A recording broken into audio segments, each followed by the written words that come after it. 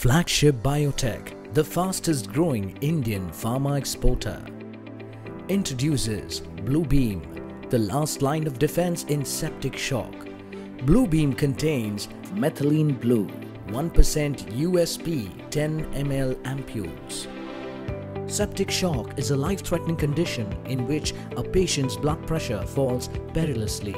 This is caused by excess nitric oxide production in the endothelial cells lining the inner walls of blood vessels. Methylene blue blocks nitric oxide production in the refractory septic shock, thereby increasing the blood pressure and saving lives.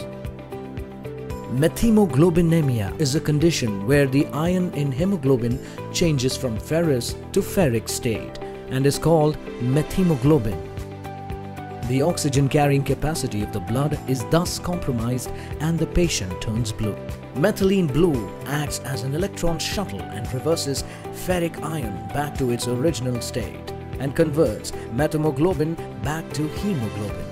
Bluebeam is also used as a surgical dye and for sentinel lymph node biopsy. Not just that, in current COVID pandemic, a significant number of deaths can be attributed to septic shock. Medical researchers are exploring benefits of early use of methylene blue in reducing cytokine storm related complications and potentially saving lives.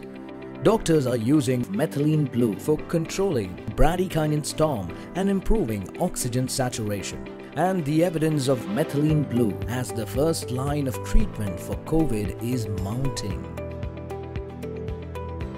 Flagship Biotech manufactures Bluebeam in WHO and ISO certified manufacturing plant in 100% sterile environment.